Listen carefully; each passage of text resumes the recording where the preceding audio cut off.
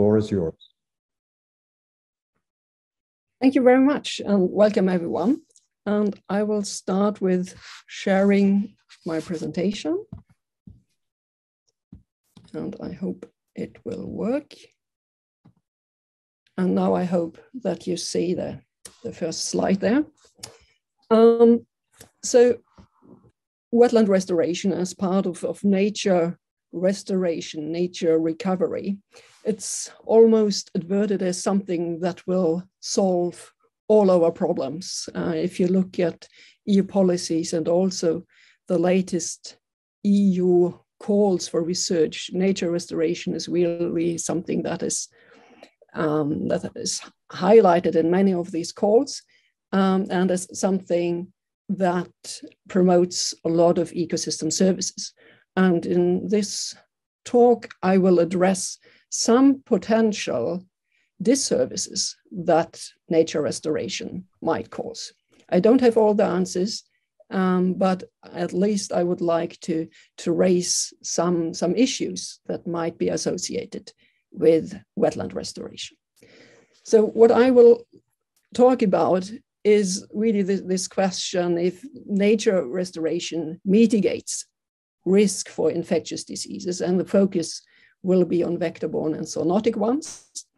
Um, and if wetlands, with a focus now on wetlands, are a potential source of infectious diseases, and if they are, um, are there potential nature-based solutions that can solve the problem, or are nature-based solutions even the cause of the problem? And if there's a problem, then even further, how can we mitigate the problem, solve the problem? And there I will also look into a few public health interventions that potentially can be used to mitigate the problem. Before I start, um, I would like to more or less de define three important terms that I will frequently use vector, reservoir, and zoonosis. Um, zoonosis pre-pandemic, this, this was a term that I had frequently uh, to, to explain.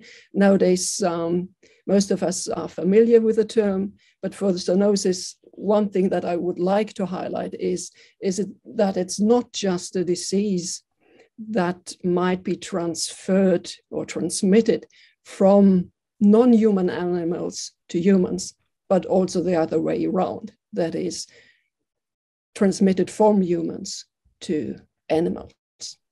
And then if we look at the vectors, I will bring up uh, some examples of especially mosquitoes as vectors, that is um, agents that allow the reproduction and transmission of pathogens to a vertebrate host, whether it's a human or a non-human animal.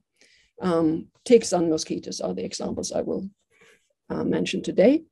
And then also reservoir, as opposed to a host, where reservoir is an environment where the pathogen normally lives, grows, and multiplies. Um, and that can then be abiotic environment, um, soil, water, or biotic. So these are three terms um, that I will come back to quite frequently now. Okay, so why we are having the, this Merlin project is there's substantial habitat destruction at a global scale, not only related to wetlands, but multiple habitats. And this destruction has resulted in a loss of biodiversity, and this is something that has been also highlighted as increasing disease risk.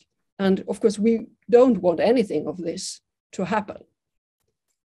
And this is something that has been also uh, published in one of the latest IPBES uh, workshop reports. And if we say this cascade is true, then the question is this, if we try to reverse this cascade, that is, we restore habitat. With this restoration, we assume and hope for that this will also increase biodiversity. So these are, of course, two things that we want to happen. But then, as a third consequence, um, some slide problem, here it comes.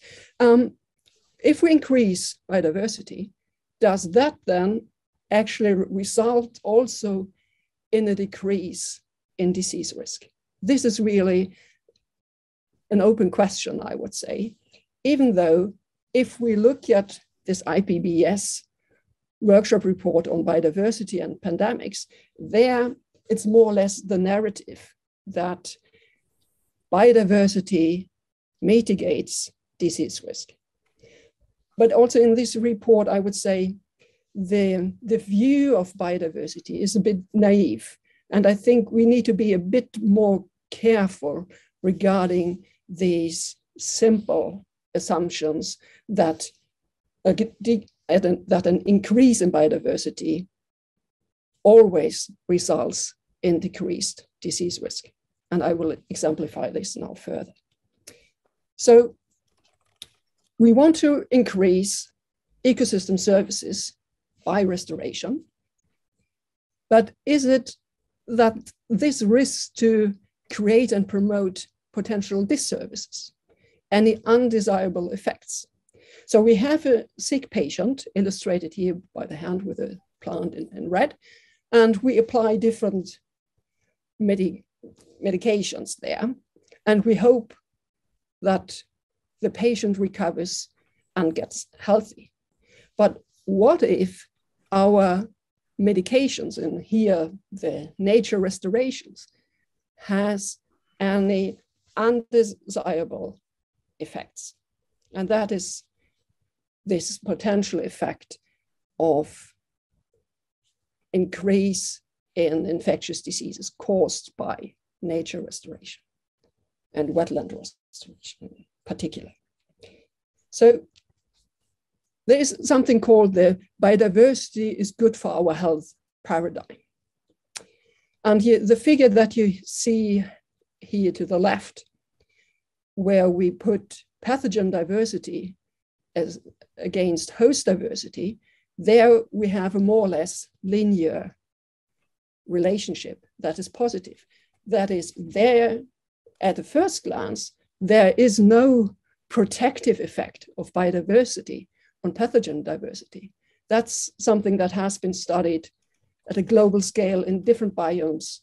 If you have high biodiversity, you, you get also a lot of pathogens, to put it simply. So, where do we have the protective mechanism of biodiversity? And that comes here. So, we still have host diversity on the x axis, but we exchange pathogen diversity on the y axis by the overall infection. That is the percentage of, let's say, animals in a community that is infected by a pathogen. And then we get this negative relationship that is a protective function of biodiversity on infection and health risk.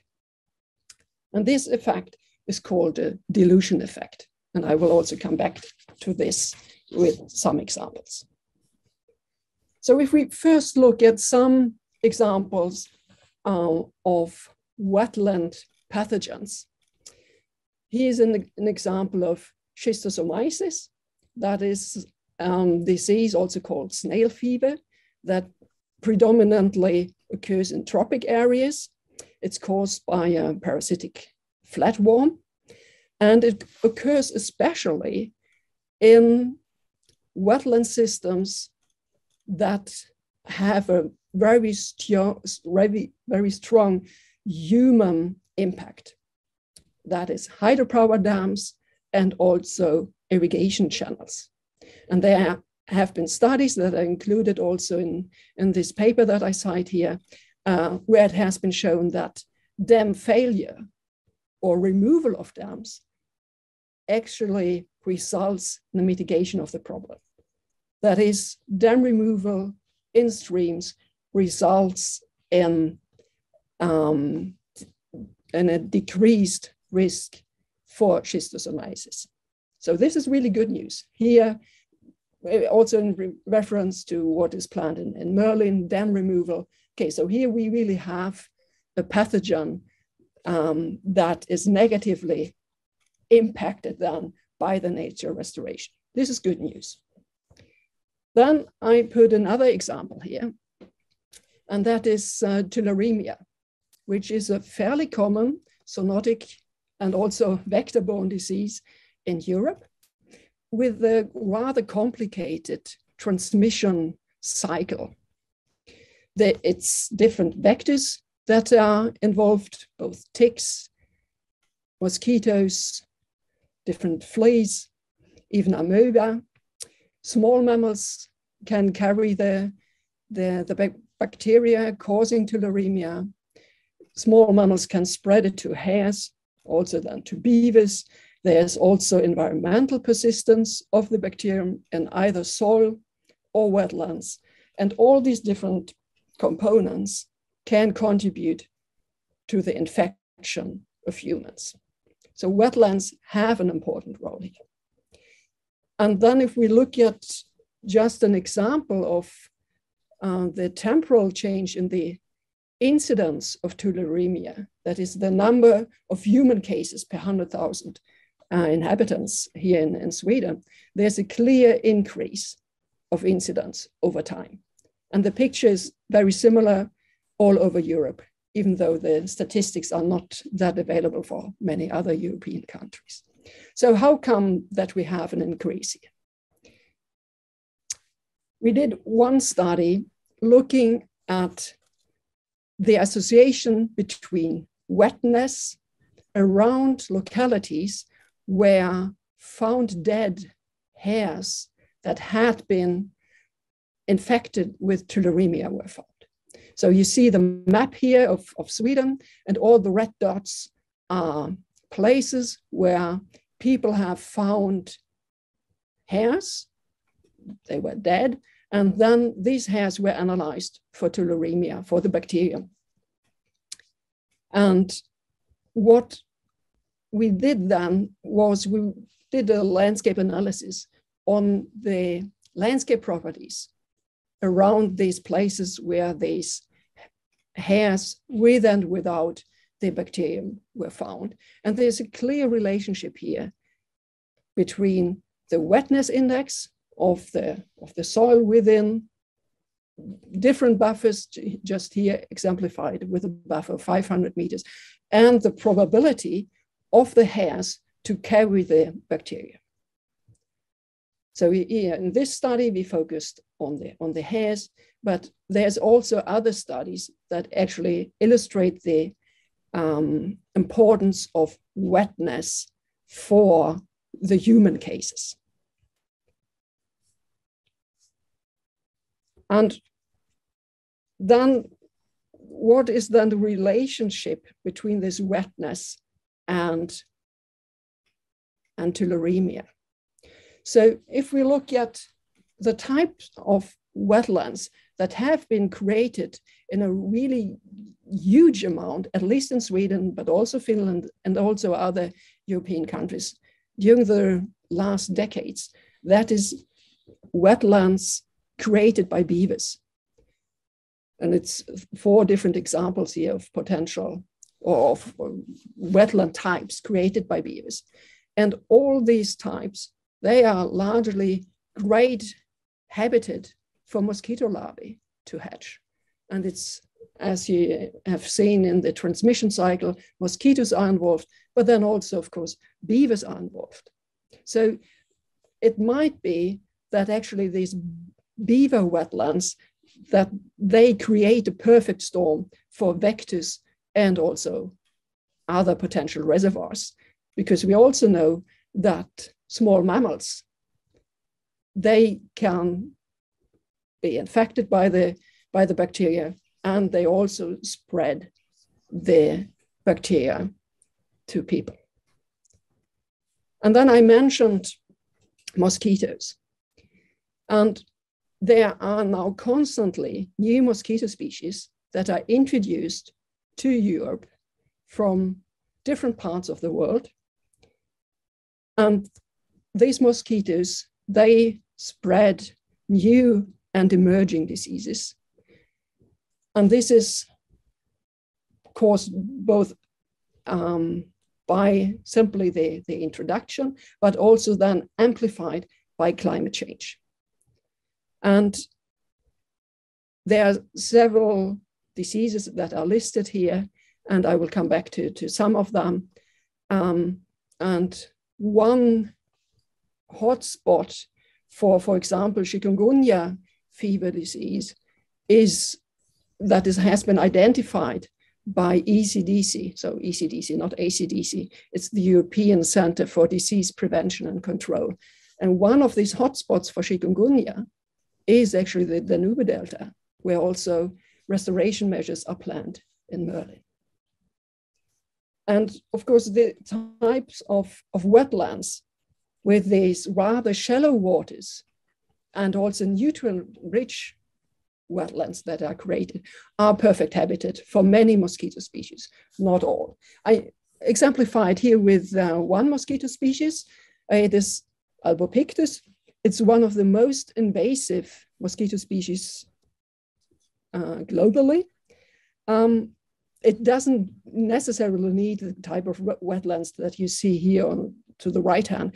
It, there it might actually be sufficient with just um, a rain barrel uh, full with water in your backyard. That is sufficient for this species to, to, um, to hatch the larvae.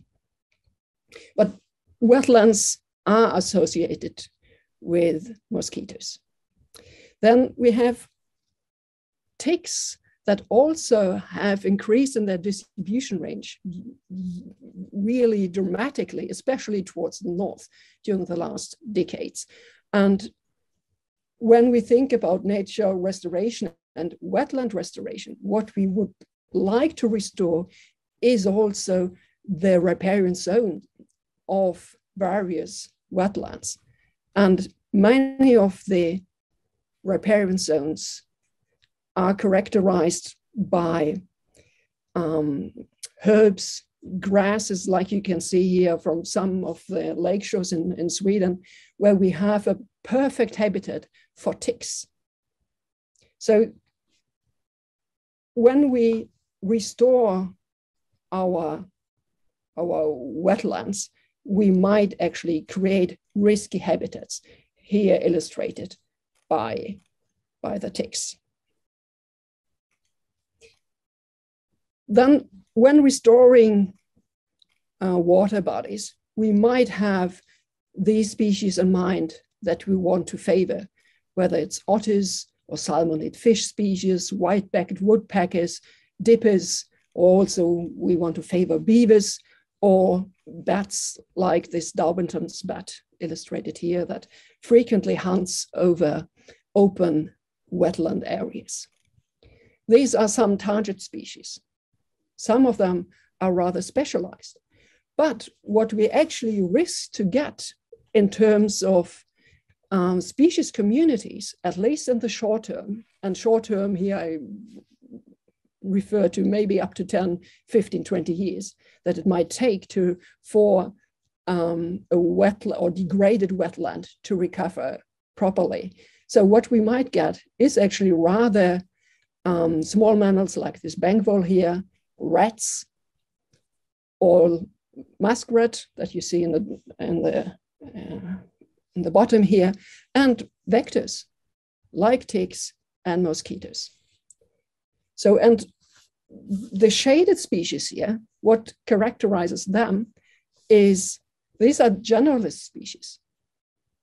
They can cope with a lot of different environments. I mean, beavers, their, their only requirement is there has to be some water, but that can even be a simple boring ditch where they build their dam and then you have a beaver habitat. And so it's not only that they are generalists, but what is it that characterizes generalist species? Yes, they often are hyperreservoirs. That is, they host a lot of different pathogens. And then we also have some of the most important vectors for rather nasty diseases among these groups.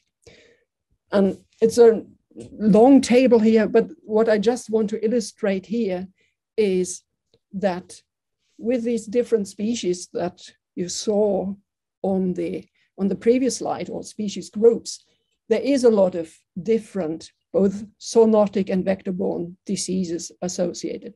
And this is true for, for beavers, for other small rodents, especially uh, bats, mosquitoes, and ticks. And you find tularemia, for example, for all these groups. Then we have other uh, diseases um, associated with the different pathogens that are of varying importance already now in different European countries, and where we will see probably an increase over the next few years and decades. And for example, for the bats, we have uh, one recent study uh, that is now in, in print on Daubenton's bat. We actually also found coronaviruses. Um, so it's these species groups are important for the transmission of different diseases. So this is the bad news. But now let's look at the good news. And that is predators are actually good for our health. And I illustrate this uh, with the, the Tengmalm's owl that you find here um, with um, a bank vole that is caught by it. And owls in general are really efficient in um, preying on, on rodents. But what is really the, the good news here is that they not only prey on, on rodents, they prey preferably, selectively on infected ones. And this is something that we have shown both for tularemia and also hantavirus infections. That is one another um, important zoonotic disease in different parts of, of Europe. So this is really good news. So predators selectively are removing infected animals that otherwise could make us humans sick. Then some other nature-based solutions that could then be used. So I mean, to, to reintroduce owls might be difficult, but you can provide nest boxes that many owls really easily accept and where they then nest. Um, cats are also efficient uh, hunters on, on rodents, even though, of course, we don't want feral cats in the city areas. Um, then stoats or foxes is also something or these are species groups that are very good at hunting uh, rodents, hyperreservoirs. Um, but you might not have them, especially not um, uh, close to, to cities or even in urban areas.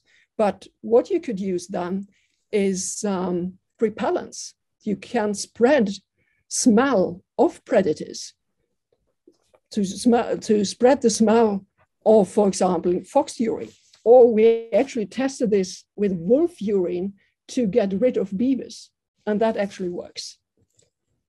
Um, what is also a good way to at least get rid partly on mosquitoes is to, to support um, nesting sites for swifts and swallows. Um, they are very efficient in hunting mosquitoes and then thereby removing potential um, vectors that could infect us people. Additional interventions then, of course, include also, especially then in, in urban areas, to mow the grass, um, to avoid that you have habitats where people take the walk their dogs, uh, where people actually also can uh, get in contact with, with uh, for example, ticks to remove the grass or the herbs. Um, then in especially urban areas, you can also promote more the use of um, mosquito nets, something that is standard in, in many northern countries. Um, you can use repellents for, for different vectors. And something that is also very important is um, to inform, elucidate the public on potential risks, and maybe also to put up signs that warn the public for potential risks. So when I look at some of the, the restoration projects that will be performed in Merlin, um, I see actually potential risks for these projects promoting uh, risk for vector-borne and zoonotic diseases, at least in short term. And I think it would be wrong to neglect this and say, no, this will not happen. I think a better approach would be to acknowledge that this risk actually might be there and then more go into how can we cope with this. And therefore, as a take home message, I would say, yes, wetland restoration might induce disease risk. But the good news is also that there, that we might be able to develop a, a toolbox, at least already now. There are different tools available to mitigate this risk, including either introduction or reintroduction of predators, creation of landscape of fear by, for example, spreading the, the uh, urine of or the scent of potential predators of reservoirs, different public health interventions, and especially also to educate the, the public on such potential risk. And with that, I would like to, to thank you for listening.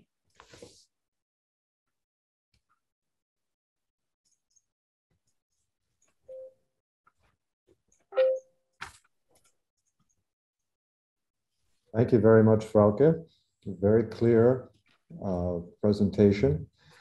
Um, so clear that we only have one question. Maybe you answered everything.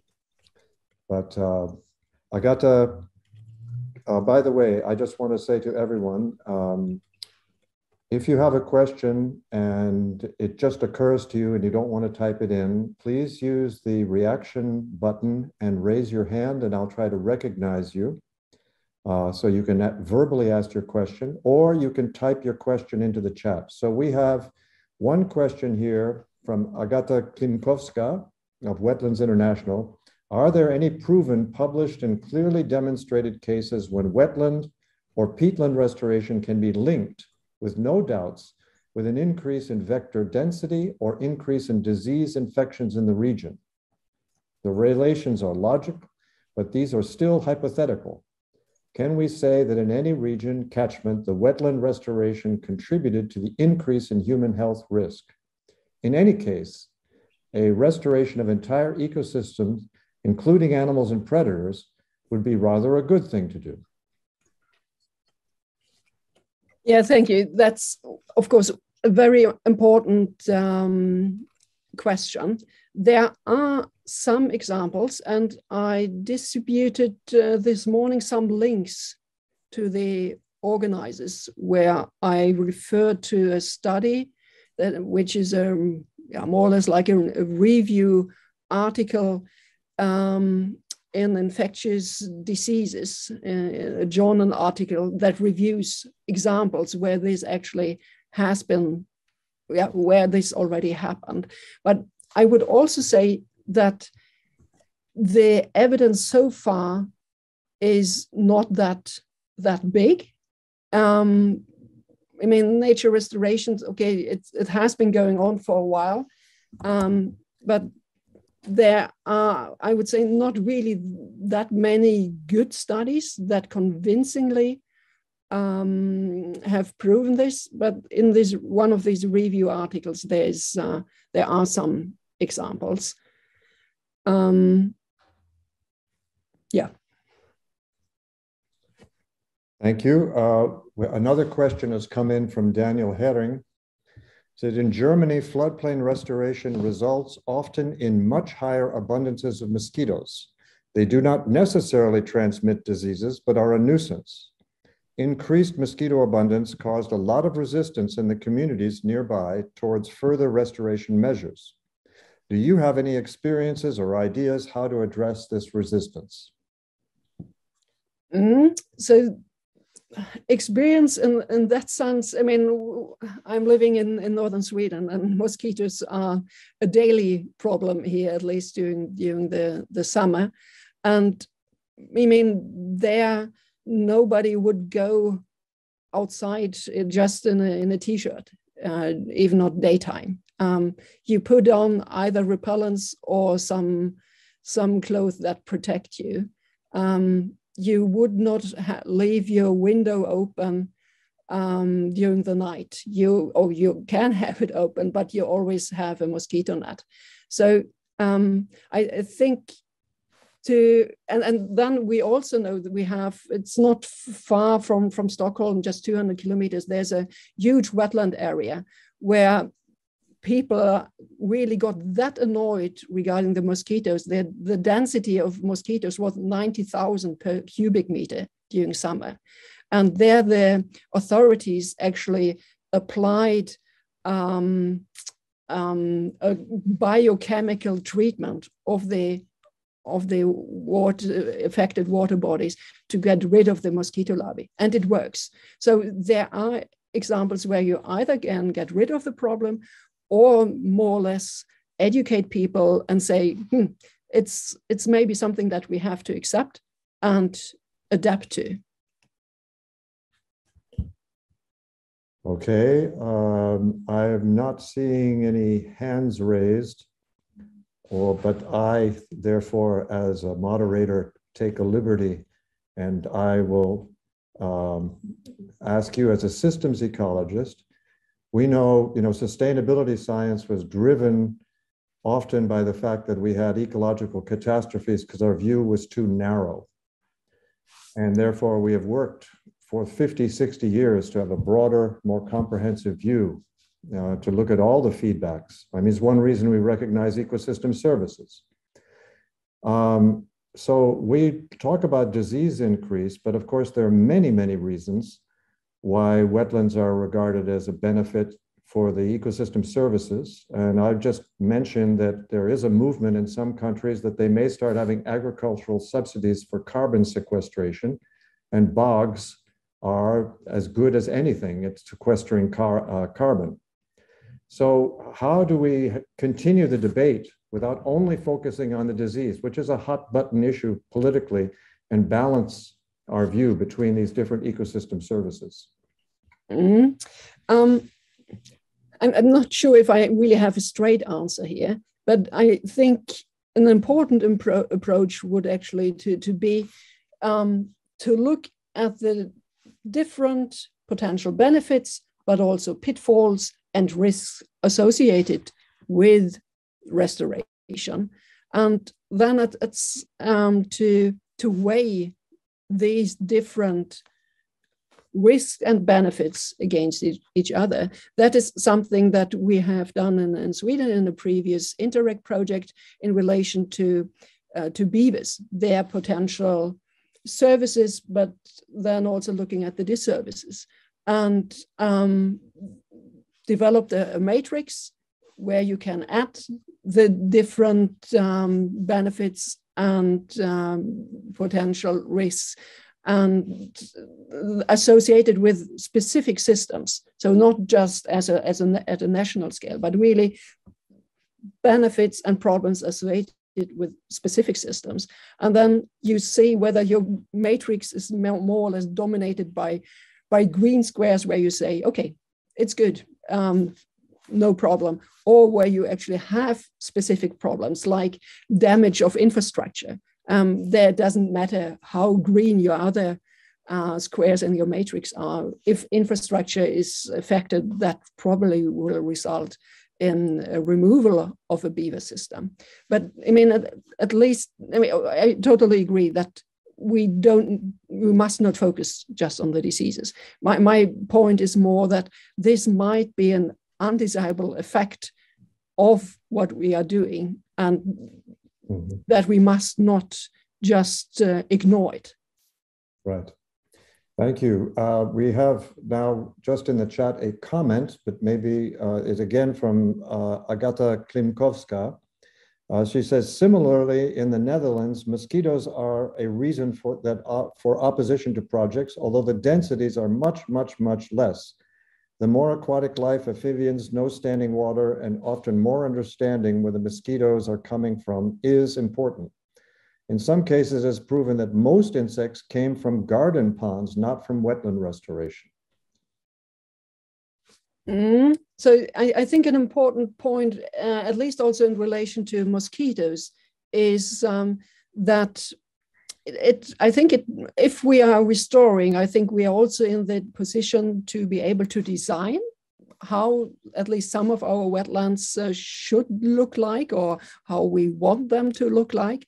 And there, I mean, problems with mosquitoes um, to a large degree also associated with a lot of emerging vegetation being in these wetlands, whereas more open uh, waters are not really favoring mosquito larvae or mosquitoes hatching in the in the system. So I, I think how to design the, these wetlands can also be a, a key aspect uh, that should be considered um, to, to mitigate the potential risk from mosquitoes uh, hatching in these systems. Yeah, I could add to that as a former resident of the United States, the massive depots of old tires, uh, rubber tires, are huge um, reservoirs for mosquitoes uh, and mosquito breeding sites.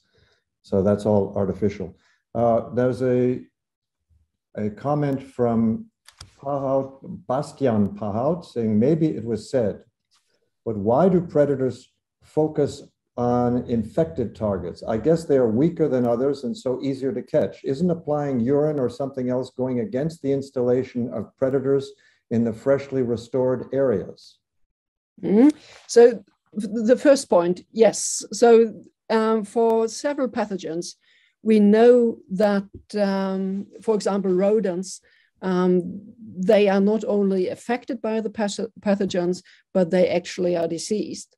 That is, somehow they are affected. For hantavirus infections, we know that um, the bank voles um, they move more and they pee more, which makes them easier to see and to catch for the for the owls. Uh, for tularemia, we know that um, the small rodents voles they die within two to three weeks so there the the animals are really suffering from the infection which also makes them easier prey. Um, the other part um, well regarding applying urine um, um, I, I i mean if you spread uh, fox urine, for example, this is uh, nothing that would prevent an owl or a Tengmalm's owl from, from nesting in the area. Um, there it could actually also be that you then have a double effect, one from the owls and one from the creation of a landscape of fear by spreading the urine. I hope this answers the, the question. Thank you.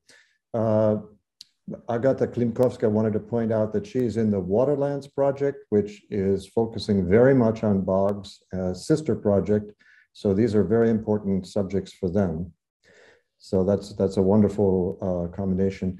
Daniel Hering posted a comment. Perhaps you can respond to it. An overall look at beaver reintroduction, quite problematic in terms of methane emissions, diseases, lots of problems with adjacent land use.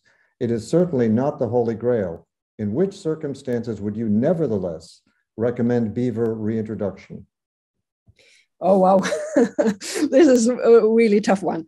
Um, so, I mean, in, if I look at um, how the reintroduction of, of beavers um, occurred in, in Sweden, there we have partly really remote areas where no one cares.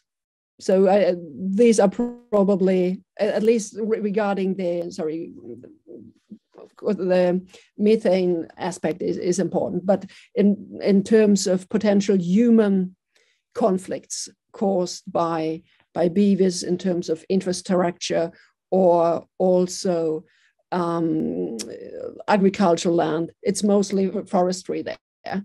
Um, and there, in many cases, the forest land is owned by, by big forest companies. And the big enterprises they are in favor of the beavers because they say um, the productive forest that is lost to beavers by beavers flooding riparian areas, that's almost negligible. It's in comparison to the whole forest area, it's almost nothing. And in the riparian zones, they are the companies are not allowed to clear cut anyhow. So there's um, a win-win in terms of biodiversity. And then the, the company is saying, yeah, it, it doesn't matter. Um, but I mean, in the now we see a tendency for beavers um, moving, migrating southwards in Sweden into also agricultural areas where a lot of efforts have been put into the restoration of riparian zones along streams uh, and also ditches. And that is, of course, there I think we will see a lot of lot of problems. Um, and there, uh, I'm not really sure how to, how to solve this. Um, there, I, I could imagine that also some kind of compensation paid to or subsidies paid to, to farmers could be one solution. Um, but I mean, the, the methane that is, uh, um, if I mean, there are only so far only a few studies that have looked into it, um, but the production is is huge in beaver dams. So this is definitely an issue, and um, I'm not really sure how to solve it. Um, but this is also an issue where I think that newly formatted beaver dams are a bigger problem than recolonized systems. So in Sweden, we are now in a, in a phase where we have the second or third generation of, of beaver systems after their recolonization. And we haven't done the, the measurements yet, but what we see from, from other um, um, environmental compounds like methyl mercury um, there we, we know that the effect of methyl mercury production is lower in recolonized systems than in newly flooded uh, systems. And that is related to the um, characteristics of the organic carbon that is available. Um, but I, I think th this will be an important issue to, to look more into. Yeah, I think uh, we also can look at that in the framework of, again, we think of one species introduction, but when you have something like reintroduction of wolves in Yellowstone, it was the wolves returning that allowed the beavers to come there, and you had much more of an entire system. So you had benefits cascading in, in multiple directions, uh, but it's much more difficult to think about that in Europe, you know, uh, but you know, as a, as a restoration measure. We have a comment here again from Agata Klimkowska. Even without reintroduction, beavers are coming, especially in large scale projects, and it's actually quite good. They do a good job with re-wetting. I would suggest it's one of the trade-offs in wetland restoration project. Yeah, I, I agree, but but then it's also the the question how to weigh the, the different trade-offs. If there's something that we uh, should do, need to do, um, then how to weigh the, the different aspects. Mm-hmm. So maybe if I keep taking the liberties of asking questions, I'll annoy people enough and they'll start asking more questions. Um, as a systems ecologist, I gave an address to a network of uh, scientists in October talking about how what we do to the landscapes makes the pandemics more likely. And especially in South Asia, the locating of major factories for geese and pigs out in the hinterland where it's more likely they encounter zoonoses. Uh, the clear cutting of forests. There, there, are many ways in which we're making landscape changes that make zoonoses much, much more likely. And I believe they need to be taken into account when we look at this, uh, that that may be a far bigger factor in endangering us to zoonoses than simply wetland restoration, to see it within a context of how we've rearranged landscapes as a whole. Uh, if you could comment on that. Mm, no, I totally agree. Um, I mean, that is something that we have looked quite a lot in, so not in relation to, to COVID-19, but in relation to other pathogens, um, degradation of the forest landscape by clear cutting. That is definitely something that promotes um, occurrence and prevalence of both zoonotic and vector-borne pathogens, whether it's related to, to hantavirus infections, whether it's related to borreliosis or Lyme, Lyme disease, whether it's related to tularemia. Um, and here, I, I think, um, yeah, we, we, need to put more effort into in the, in the future. Also regarding, okay, if there is a disease risk, um, how can we mitigate it? Um, is it really just virgin natural forest where we, where we have a safe place, or is there a way to to manage and potentially design landscapes that um, have a lower disease risk? And I, I, think a key aspect here is uh, we just have um, a manuscript uh, that is now in, under revision in Nature Communications on the importance of generalist species. I mentioned it during the talk. Um, it's these generalist species that survive habitat destruction, habitat degradation.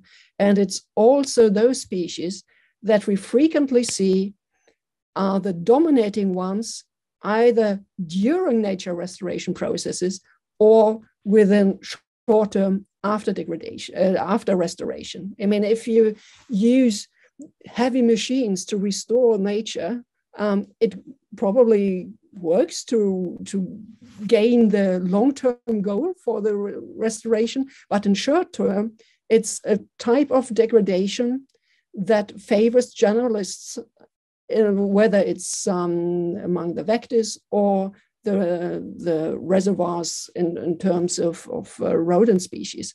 And, and I think that there we have um, a rather huge problem.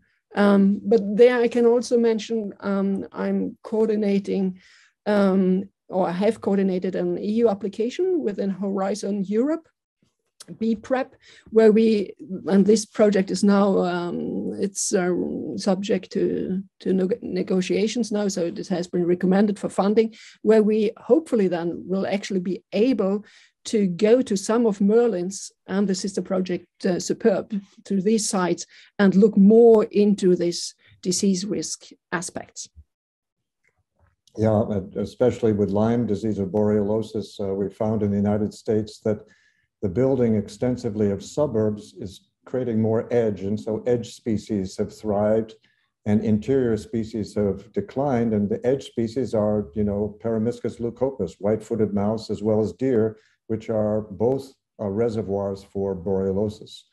So uh, I see no more questions. That's why I tried to stick one more comment in there, get, trying to give a little more time for someone to, to make a question. Um, if we have no further questions, uh, I would thank everyone for their participation. And I would like to point out that we have a webinar coming up in one month, and that'll be Julia Rido, the Water Policy Officer for WWF. She works in Brussels in their policy office, and the title of her talk will be the EU Nature Restoration Law, a chance for binding the EU to river restoration. And I believe this will be on the 4th of April. And um, I'm going to paste a link into the chat to, so if you would like to look at this further.